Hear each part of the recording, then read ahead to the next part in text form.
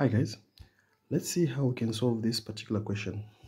So we've been given a particle which is in simple harmonic motion and uh, this particle has 4 joules as its kinetic energy as it passes through the mean position. So the only thing we've been given in this case is the mass which is uh, 2 kilograms as well as the amplitude which is 1 meter. So let's see how we can calculate the period. Okay, so for our question, we have been given the kinetic energy. So kinetic energy, in this case, we've been given 4 joules.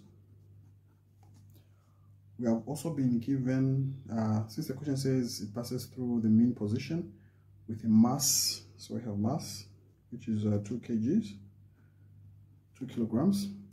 Then we've also been given the amplitude A, which is 1 meter. Okay, so now how do we calculate uh, the time period? So we know that time period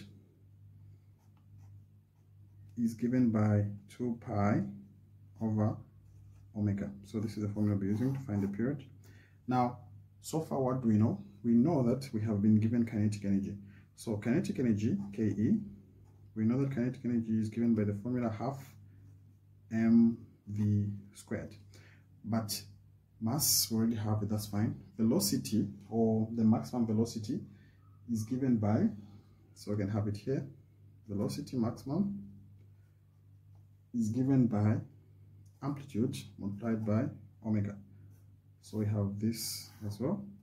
So here where there's velocity let's substitute this. So that we have kinetic energy is equals to half uh, m. The velocity is a multiplied by omega like that. So this is as good as saying k is equals to ke is equals to half m a squared um, times omega squared. This is what we have. So from everything that we have here we just want to find the value of omega so that we can go and replace it there. Hence we can find the period. So to proceed from here we're going to say uh, we know what the kinetic energy is. The kinetic energy is 4. So here we have 4, which is equals to half. Our mass, we've been given 2, multiplied by our amplitude is just 1. So it's a square, and everything is multiplying with omega squared. So from there, we can easily see that the 2 and these 2 will cancel. That is just 1. So 4 is equals to omega squared.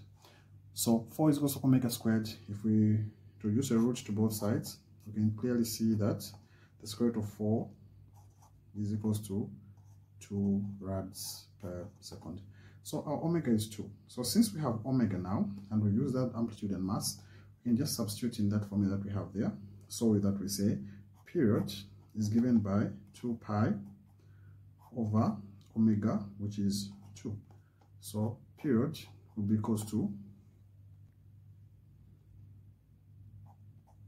equals to just pi and the value of pi so the final expression for period uh, will simply be 3.142 seconds. So there you have it.